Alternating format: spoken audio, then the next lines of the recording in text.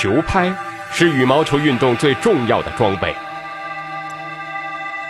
它既要能承受时速超过三百公里的杀球力量，还要灵敏地反映运动员微小的力量变化。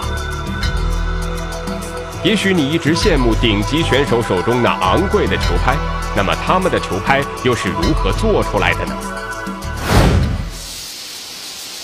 这是球拍制作的最后一个流程——外观检验和包装。在此之前，即便是最便宜的球拍，都经历过上百道工序的加工处理。现在，我们就回到球拍刚来的时候，看看它们的本来面目。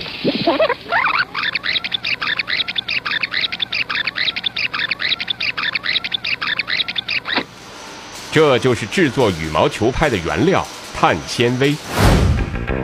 也许你接触羽毛球就是从木头球拍开始的，后来还用过铁或铝制球拍。现在大部分爱好者所使用的就是由这些石油的副产品碳纤维制成的球拍。我们看见那么碳纤维，其实它是一个丝状的。我们如果仔细的去看的话，它是像头发比头发丝还要细很多倍的那种细丝。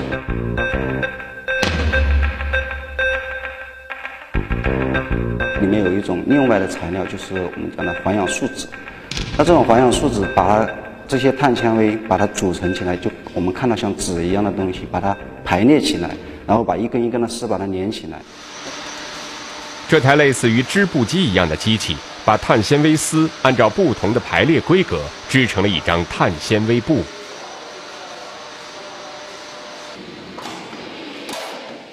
不同的纤维布被裁成不同规格的布片，以制作球拍不同的部分。现在的碳纤维在外观上和轻便坚韧的羽毛球拍完全看不到任何联系。神奇的一幕开始了，把纤维布卷在一根铁芯上，外面缠上一层特殊材料，羽毛球拍的中杆就成型了。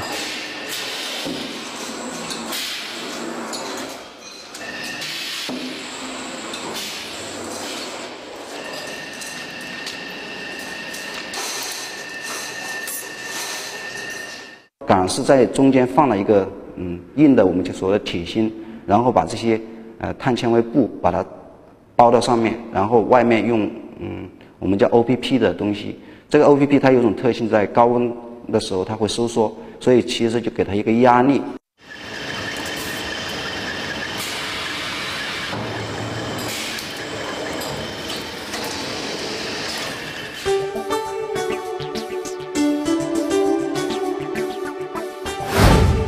经过加热加压后，再把中间的铁芯抽去，球拍中杆就可以投入使用了。由一片布卷成的球杆真的结实吗？不用担心，它现在已经可以接受重压的考验。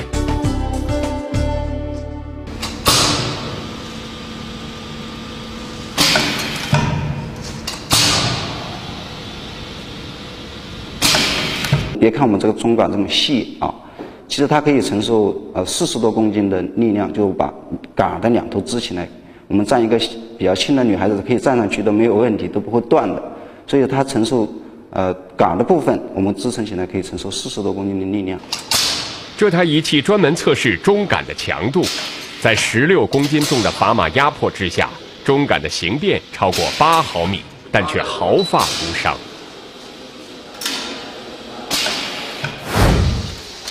如果说中杆是卷出来的，那么拍框就是叠出来的。工人们正熟练地把一层层的纤维布叠成长条，而中间夹着的是向里面吹气用的导管。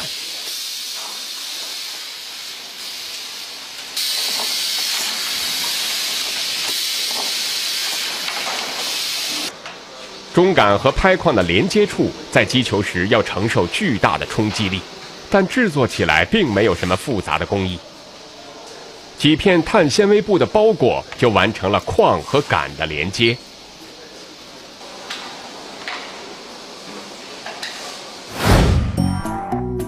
这就是羽毛球拍的雏形。这时拍框还是软趴趴的，模样也并不好看。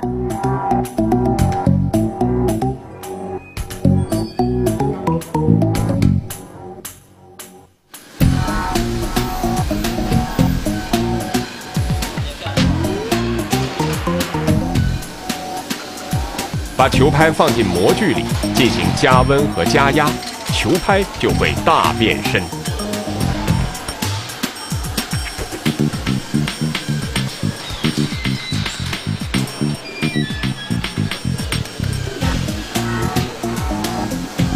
每只球拍雏形尾部都有一个气嘴，连接拍框内部。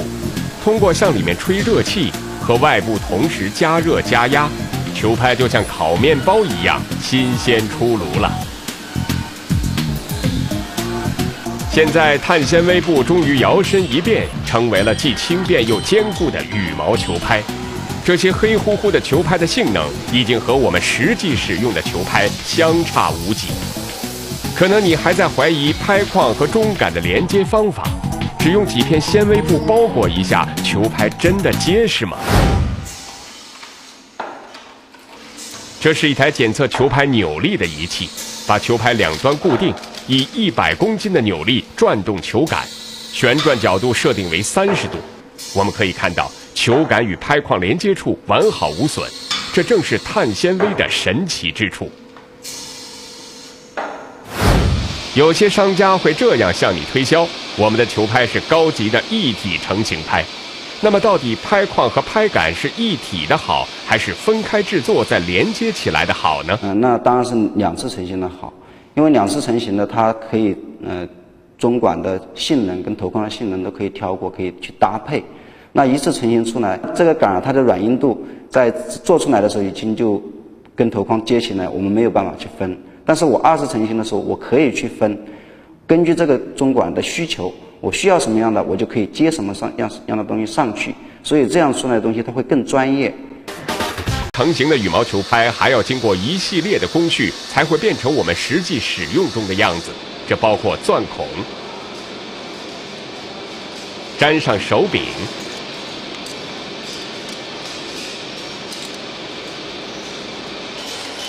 通过在手柄内部放上不同质量的橡胶条来控制球拍的重量和平衡点。球拍上喷的漆与汽车车漆相似，所以球拍才会长时间保持鲜艳夺目。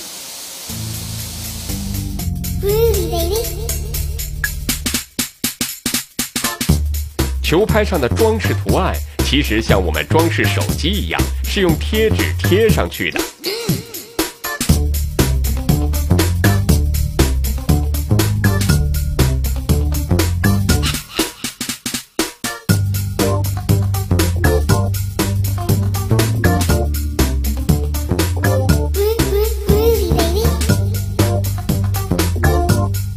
最后进行烘烤干燥，缠上顶皮，高性能的羽毛球拍就此完成。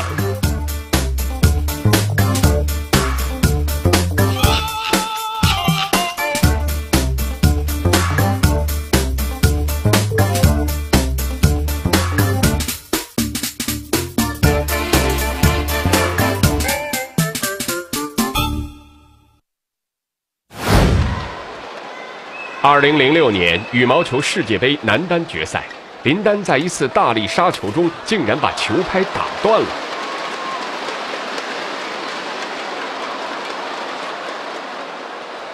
顶级选手必定会使用最顶级的球拍，但林丹的球拍又为什么会如此不堪一击呢？球拍要经过严苛的检测后，才能交到使用者手中。这台仪器用来检测拍框在穿好线后。是否能承受巨大的击球力量？大家都在研究到底一支什么样的拍子算是好拍子啊？这些拍子是要通过高级选手去试，试完以后他们会告诉你这个好还是不好。那到底哪不好哪里不好？那就必须得通通过我们这些专业的设备。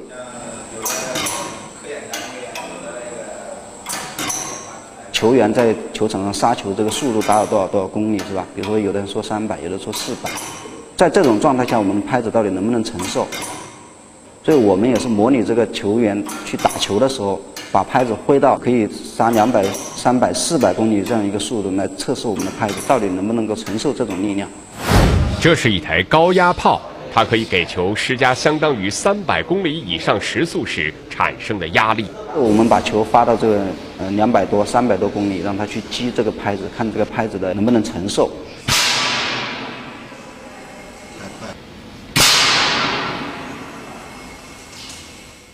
那第二个我们会呃有一个很重要的测试，会用非常啊高速的这个摄影机去拍这个拍子的运动轨迹。球打到这个拍子上，拍子它会左右的这样晃动。呃，前后晃影是比较正常的，因为你球击过以后，它应当是前后晃。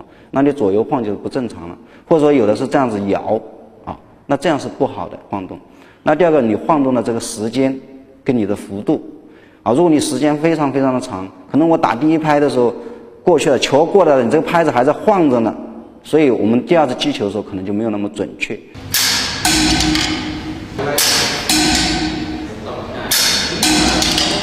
有时候累了会，呃，倚着这个球拍去捡球或者弯腰的时候这样撑，它会增加一个重量，呃，甚至有有时候呃输球或者生气什么的，把拍子往地上丢，或者这个头都一般都是头先着地，那这样的话这个拍子就很容易断，所以咱们就去做这样一个模拟的测试，我跟它加重，然后这样往地上落，保证在一般的这种力量上没有那么容易断。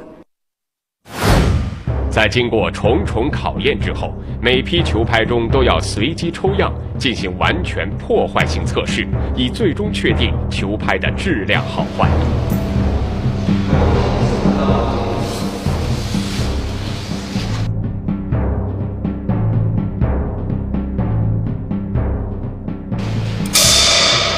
将拍框竖直放置，在达到四十六公斤的重量时，拍框被压断。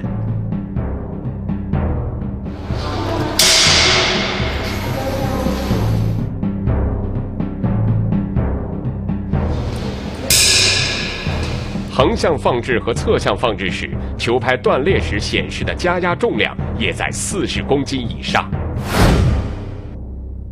按照严格标准制造出来的顶级球拍，为什么会经不住林丹的大力扣杀呢？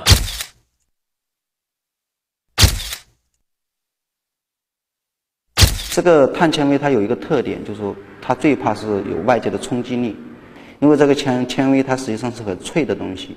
可能断一部分，纤维断了，有时候呢看不到。当你打的时候，啊，再受力的时候，它可能会断掉。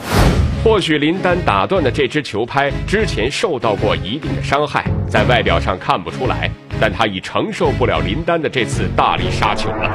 当然，最重要的原因还是林丹本人超强的个人能力，他杀球瞬间的力量已经超出了这把球拍所能承受的力量范围。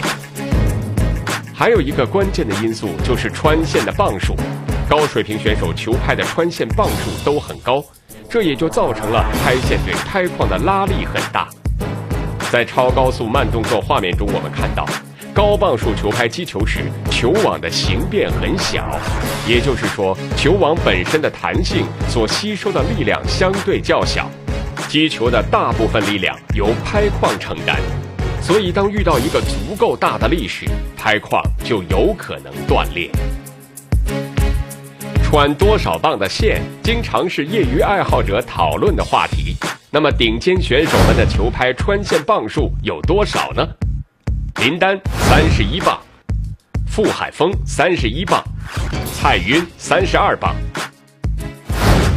夏宣泽三十二磅。张宁三十二磅，陶飞克三十二磅，李宗伟二十八磅。一般说，越初学的，越嗯力量不是很大的，我们选择比较低的磅数，因为力是相互作用的。你拉太高的磅数，如果说你的力量或者你的呃技术没有到这种程度的话，往往会造成一些运动伤害。呃，在刚开始入门的时候，最好拿个二十二三磅、二十一二磅啊就足够了。那就稍微好一点，那是二十二十五六磅。至于说像像国家队的这些顶级的运动员，他们也有拿二十八磅到三十一二磅的都有，不是说啊所有的都拿这个磅数。